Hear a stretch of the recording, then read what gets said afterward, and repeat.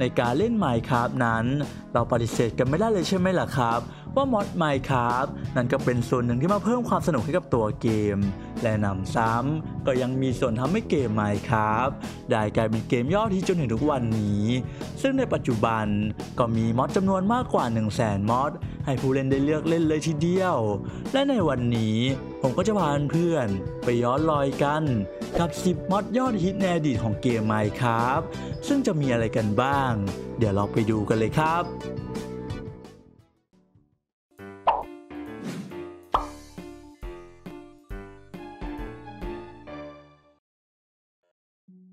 ลำดับที่ 1 Mod Too Many Item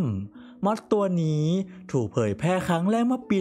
2011 และในอดีต mod นี้ก็ถูกจัดให้เป็น mod ที่จำเป็นอย่างมาก ต่อผู้เล่น Minecraft อย่างเราเลยครับ เพราะเนื่องจากในอดีต ทางตัวเกม Minecraft ยังไม่มีปุ่มลัดในการสลับ game mode โดยการที่จะสลับ game mode ได้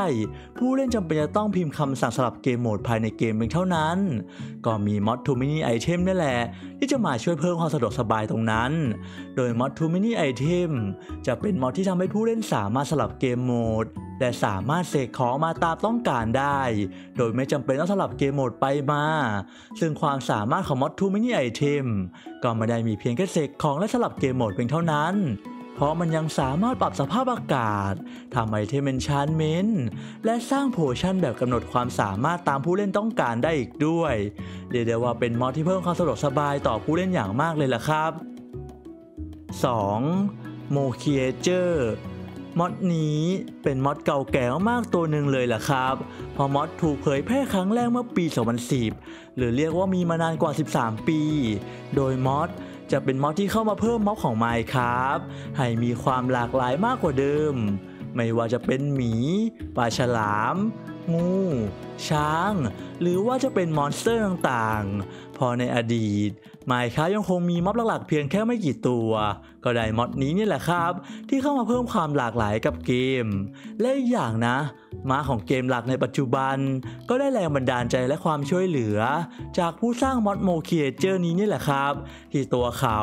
ได้เข้าไปช่วยเหลือทีมงาน Minecraft เพื่อทำการเพิ่มม้ากับตัวเกม โดยใน NKD ของเกม ก็ยังมีชื่อเขาถูกเพิ่มเข้าไปอีกด้วย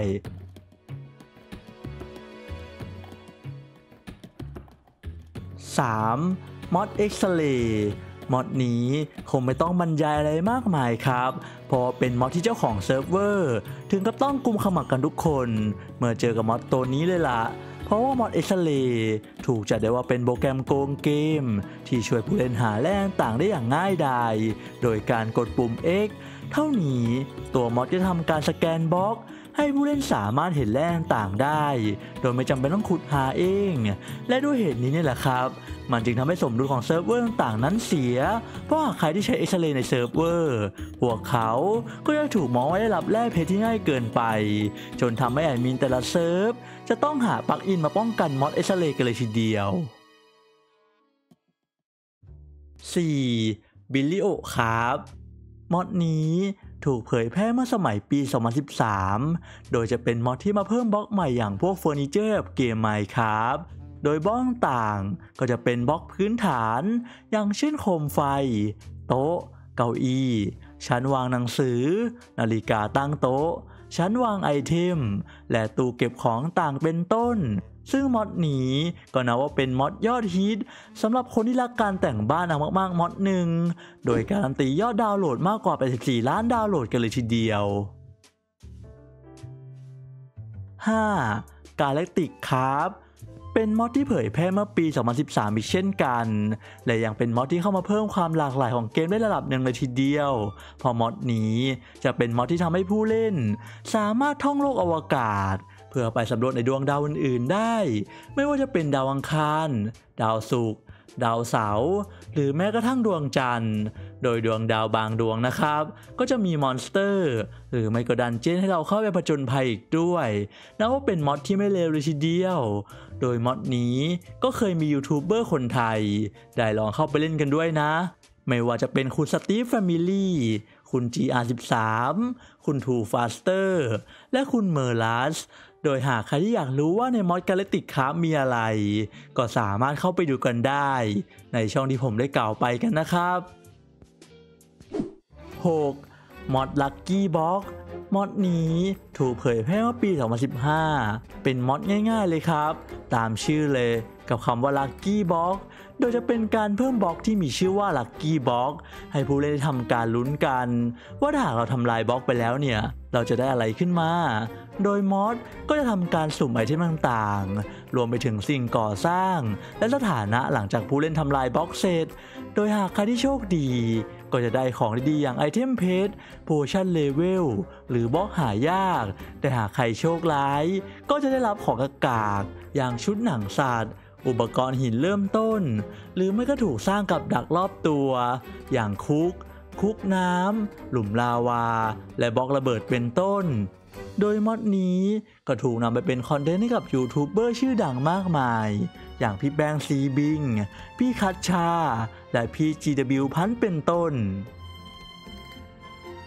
7. Pixelmon เป็น mod ที่ถูกเผยแพร่เมื่อปี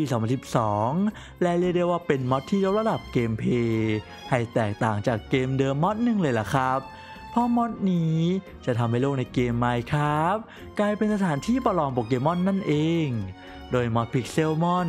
จะทำการเพิ่มมอนต่างๆ ในการ์ตูนโปเกมอน ให้เข้ามาในโลกของเกม Minecraft และเปิดโอกาสให้ผู้เล่น ได้เข้าไปจับโปเกมอน แล้วก็นำมาอัปเกรด เพื่อนำมาประชันกันในสนามประลอง โดย mod นี้ ก็ยังมีหลาย ๆ เซิร์ฟเวอร์นำไปเปิดบริการเพื่อให้ผู้เล่นนำมาแข่งกันจริงอีกด้วย อย่างในประเทศไทยก็มีหลายเซิร์ฟเวอร์เลยนะครับ ที่เปิดบริการเป็นแนว Pixelmon เพื่อให้ผู้เล่นคนไทย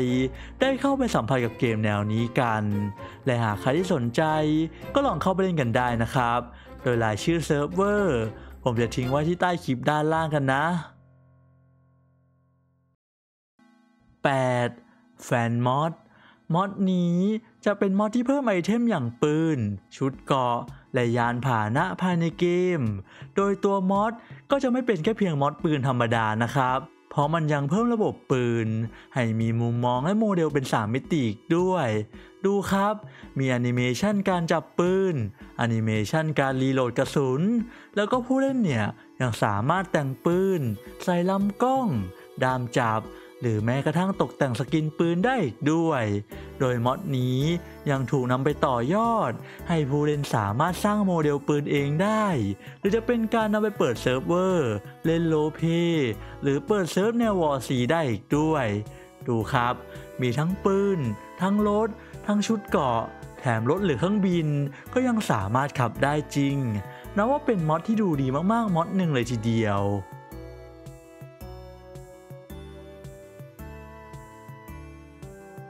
9. เอเธอร์หรือมอดสวรรค์ เป็นมอดที่ถูกเผยแพร่เมื่อปี 2011 และเรียกได้ว่าเป็นมอดที่สร้างความเข้าใจผิดให้กับผู้เล่นไมค์ค้ามาตลอด 10 ปีเลยล่ะครับเพราะหลายคนคงจะคุ้นเคยกับตำนานประตูสวรรค์ที่เราสามารถสร้างได้ โดยการต่อบล็อกเรืองแสง แล้วใช้น้ำเปิดประตูขึ้นมา โดยความเข้าใจผิด มันก็อยู่ตรงนี้นี่แหละครับ ที่ในอดีต มีผู้เล่นหลายคน ที่เชื่อว่าเราสามารถทำประตูแบบนี้ได้ ในตัวเกมหลัก แต่ความจริงแล้ว เราจะต้องลงมอดเอเธอร์ก่อนครับเจอทำได้ตัวต้องการตัวนั่นน่ะมันมันไม่ติดไว้หลุย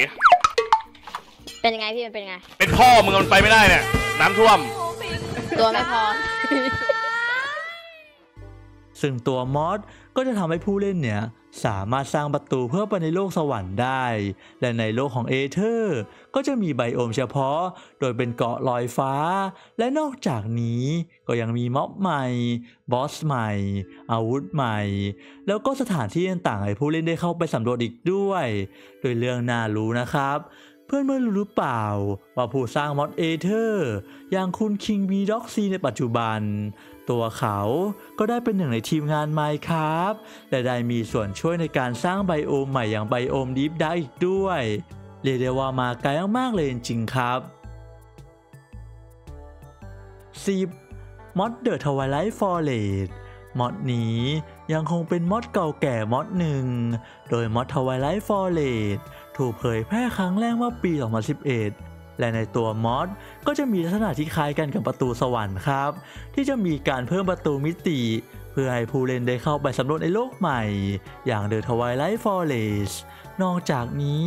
ผู้เล่นก็จะได้พบกับม็อบใหม่ biome ใหม่ และมอนสเตอร์ใหม่ต่างๆ มากมาย แถมยังมี dungeon มีบอสเพื่อให้ผู้เล่นได้เข้าไปผจญภัยอย่างสุดมัน ซึ่งในปัจจุบัน mod ตัวนี้ก็ยังได้รับการอัปเดตจากผู้สร้าง มาจนถึงตัวเกมเวอร์ชัน1.19 เลยทีเดียว และหากใครที่จำกันได้นะครับ mod นี้ก็เคยดังใน community ของคนไทยเป็นอย่างมากในช่วงหนึ่ง จากการที่มียูทูบเบอร์อย่างพี่คัตชา ได้นำมาเล่นให้เราดูกันเมื่อปี 2014 นั่นเอง และนี่แหละครับ ก็คือ 10 mod ยอดฮิตในอดีตของเกม Minecraft เพื่อนๆล่ะเคยสัมผัสกับ mod เหล่านี้กันมาบ้างหรือเปล่า หรือว่าผมเนี่ยลืมพูดถึง mod ไหนไป เพื่อนๆก็สามารถบอกผมได้ ด้วยการคอมเมนต์ใต้คลิปด้านล่างกันนะครับสำหรับผมมอดที่ผมชอบที่สุดก็คงจะเป็นมอดสวรรค์นี่แหละ ที่มันเพิ่มคอนเทนต์ให้กับตัวเกมเยอะมาก มีทั้งบอสทั้งมอบใหม่เยอะแยะเลย อีกอย่างมอดมันก็สามารถสร้างความเข้าใจผิด เกี่ยวกับประตูสวรรค์ให้กับผู้เล่นมาเกือบ10 ปี มันคงไม่มีมอดไหนเนี่ย จะมาสร้างความเข้าใจผิดแบบนี้ได้แล้วมั้ง และถ้าเพื่อนๆนะครับ ชอบคลิปแนวนี้ ก็อย่าลืมกดไลค์และกดติดตามให้กับช่องของผม เพื่อเป็นกำลังใจให้กับผมกันด้วยนะครับ วันนี้ก็หมดเวลาของผมแล้วไว้มาเจอกันใหม่คลิปหน้า ผมฟิลซี่ก็ต้องขอตัวลาไปก่อน สวัสดีครับ